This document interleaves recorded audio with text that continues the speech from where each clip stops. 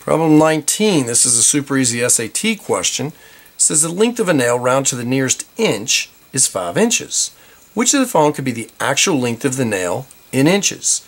So in other words, which of these numbers rounds to the nearest whole number would be 5? 4.46. Well, you look at that tenths, that's a 4. That's not going to knock that up to a 5. That's a 4. It's not going to knock it up to a 5. Now we're into these. This is a 3. That actually will round back and make this a 5. This round to the nearest whole number is closer to 6, and 5.89 is closer to 6. Just like these were closer to 4. So the answer, pretty easy question, the answer is C.